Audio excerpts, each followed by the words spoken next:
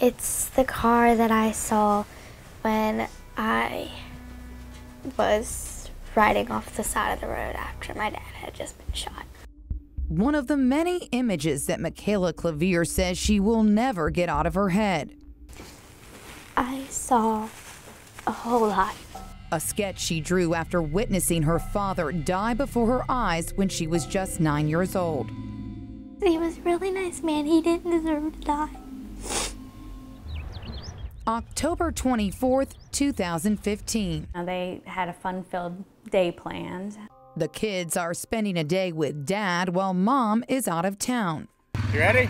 Melody Clavier says her husband Nick was a fun parent Hang on, what? who she says loved his four children and couldn't wait to take them fishing. They had their fishing poles loaded up. They were en route, ready to go.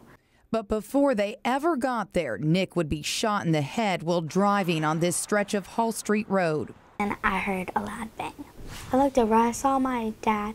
He was bleeding and blood was going everywhere because his foot was on the accelerator and he was kind of leaned over onto the steering wheel. The car went off the road and struck a tree, and while Michaela tried to stop her father's bleeding, she knew she had to get her sister Emily and brothers Jacob and Hollis to safety. After getting them out of the car, she led them through these woods to a nearby church for help. In that moment, I was thinking um, that somebody had tried to hurt us or my dad, and all I knew was I had to be strong for my little siblings. It's hard to imagine how how they even made it. A year and a half later, for the very first time, Melody visits the site where her family's life was forever changed. A spot where the Chesterfield Police Department says Nick's own gun accidentally discharged. But one of the only eyewitnesses that day says otherwise. I saw the guy pointing a gun and I saw the car, but I didn't catch the license plate.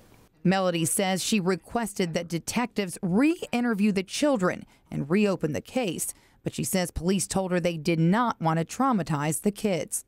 I told him, with all due respect, sir, my children saw their father's head blown off.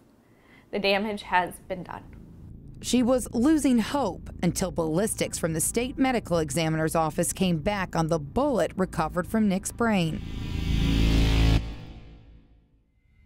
The markings on the bullet indicated that it could not have been fired from the 380 pistol recovered from the vehicle. Makes it impossible to exclude homicide. So when the ballistics came back to me, you know, I it was excitement. After the state medical examiner released a report about her husband's death, Melody Clavier was sure that Chesterfield police would reopen the case. because I felt like this is finally going to be taken care of. This is this is what I've been waiting for. Detectives had ruled that Nick Clavier had accidentally shot himself while driving with his kids in the car in October of 2015. But the ballistics dispute that because the bullet that killed him would not fit into his gun.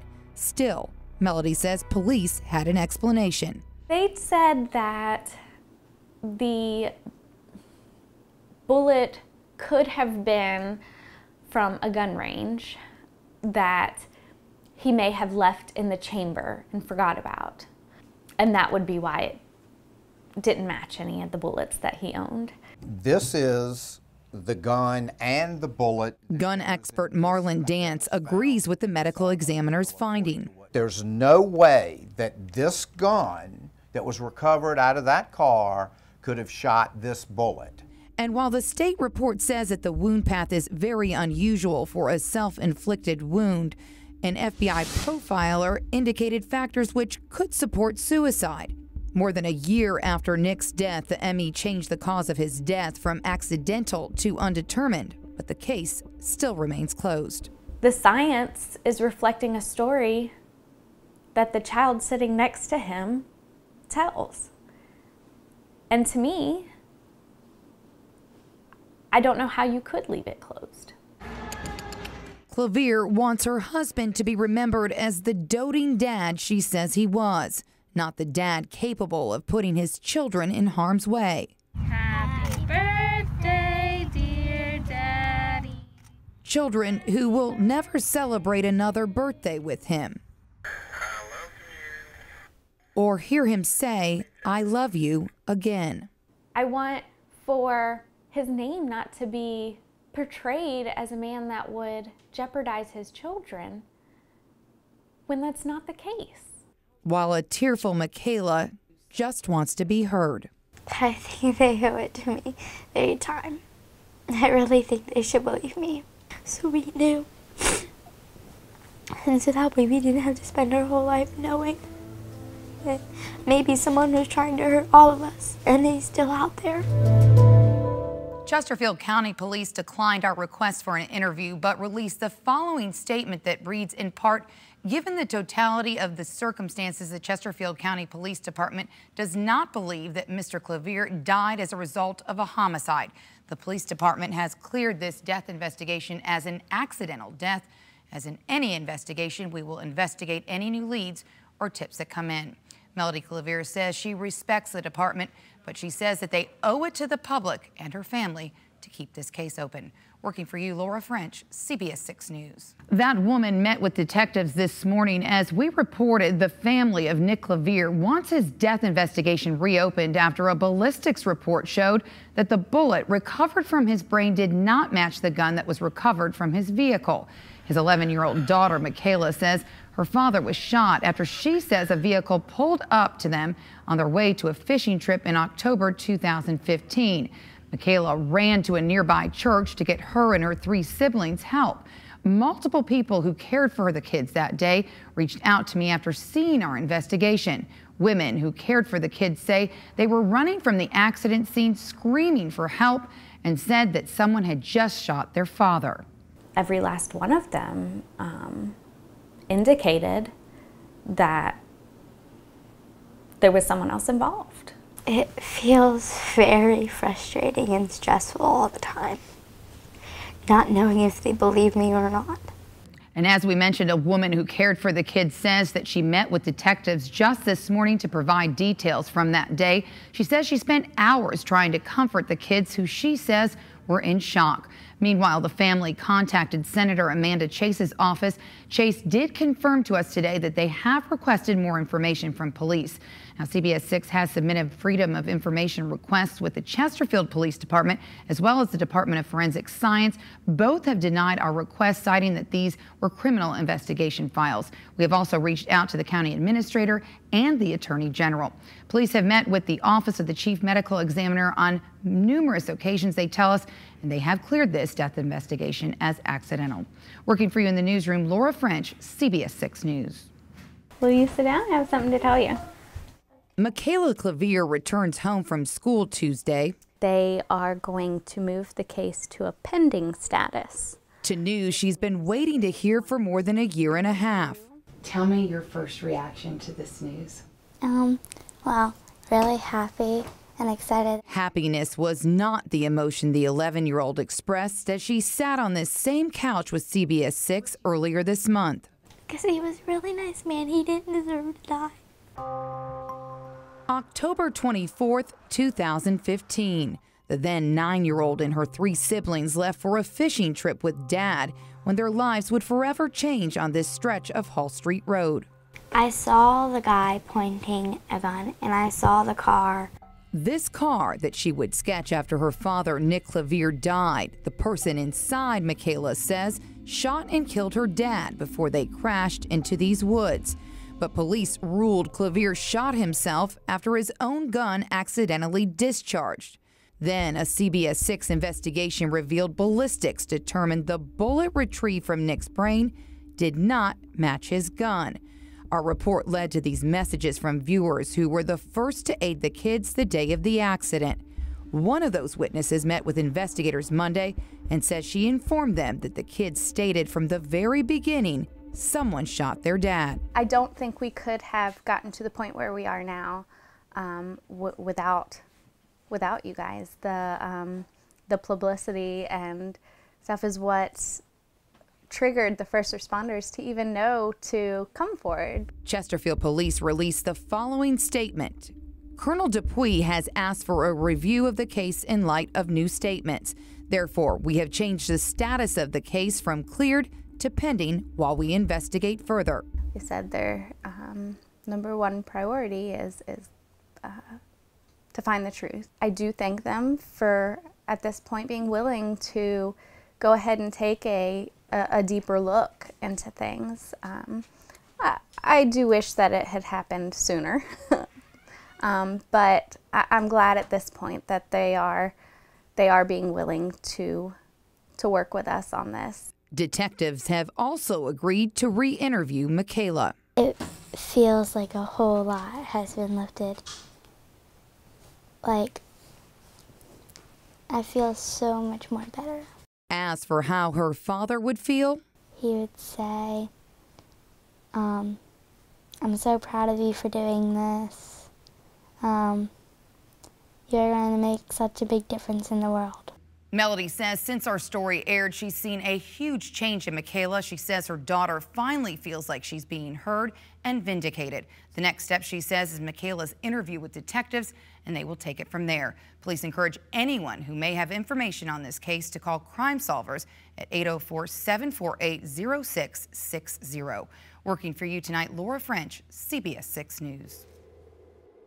So, this is actually the room that the children come and are interviewed in.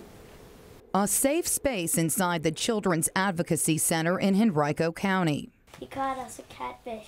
Where these four children will soon be able to talk openly.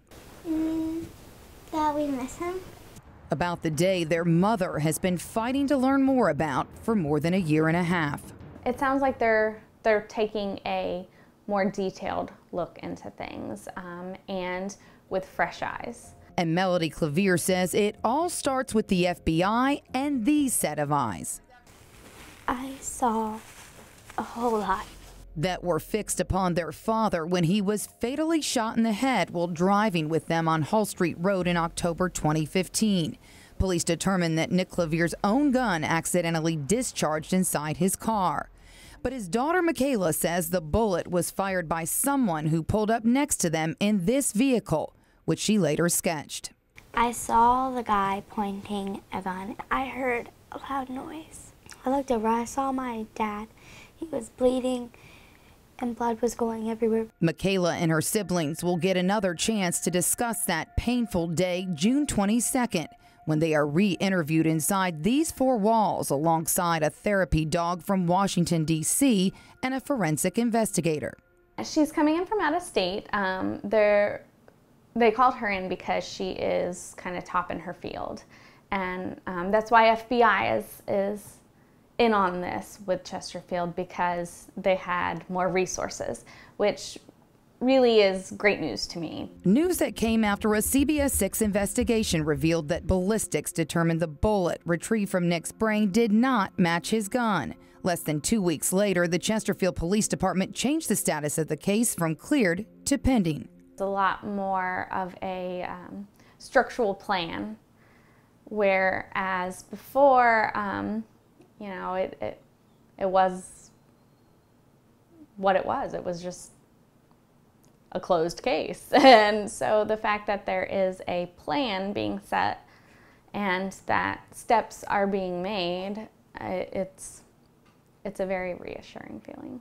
And this center says the kids can be reassured in this environment free of pressure as they're asked open ended questions. So it is recorded. With police investigators watching from a nearby room. They don't feel like they're in a police station or an office building. Um, it's kind of meant to feel homey. Um, so they feel really comfortable here. And Melody says she can take comfort knowing that her kids are now thriving because their voices are being heard if nothing ever comes of this, um, it has brought healing to our family, especially Michaela, who really just she wanted to feel validated. She wanted to feel as though somebody was listening. Melody says she has confidence in the Chesterfield Police Department and hopes her children's interviews will lead them to more answers as to what happened that day.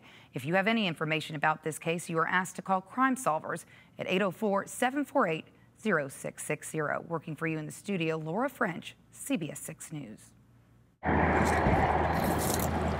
With metal detectors and shovels in hand, Chesterfield police are digging for clues in a field cleared by investigators. A patch of woods that two years earlier was the scene of a shooting investigation. Really, this is the only way that we can say that we've actually you know, done everything we could um, logically to find out where the truth is in all this. It's that truth Melody Clavier has been searching for since the October 2015 day her husband Nick was found shot in the head after crashing down this embankment into this now marked tree off Hull Street Road with his four children inside the car. In my heart, um, you know, obviously what happened was the story I've been told over and over by my children, um, which was that, you know, somebody shot him. I saw the guy pointing a gun. I heard a loud noise.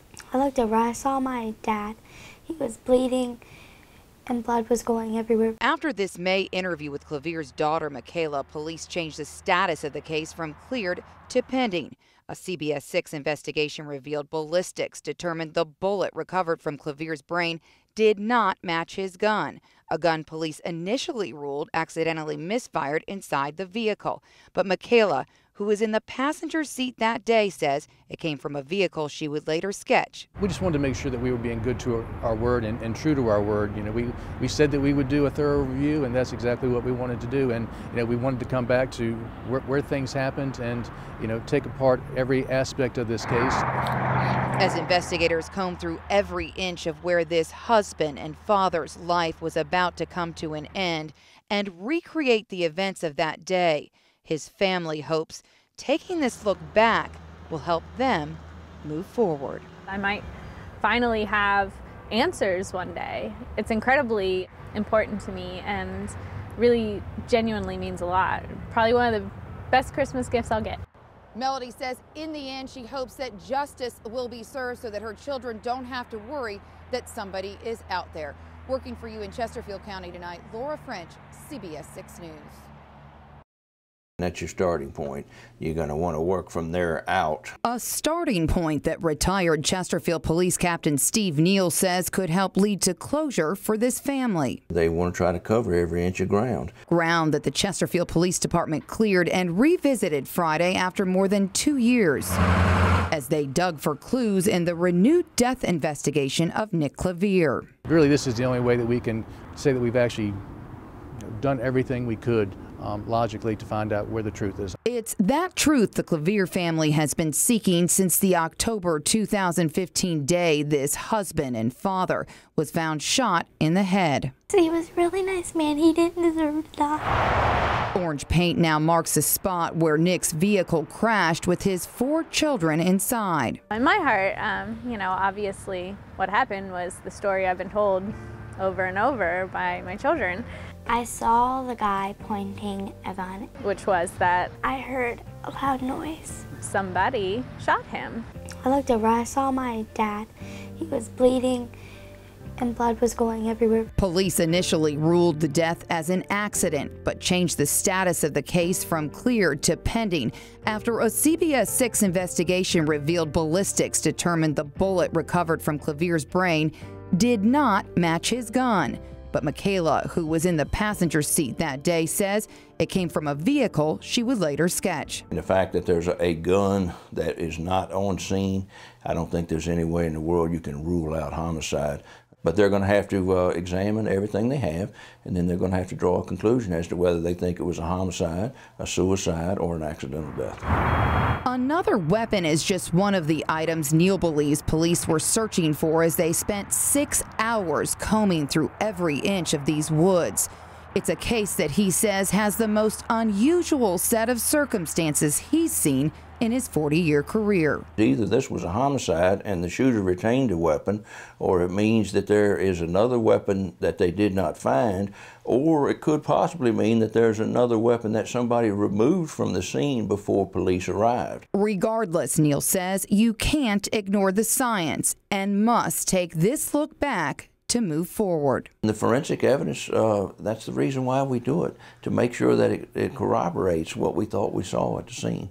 And if you find a case where it doesn't match, like in this case, then that tells us we need to go in another direction. We need to look somewhere else. It would be amazing if, you know, we could have justice brought for this, if something was found to where, you know, a guilty party could be brought to justice. Um, that would be huge, you know.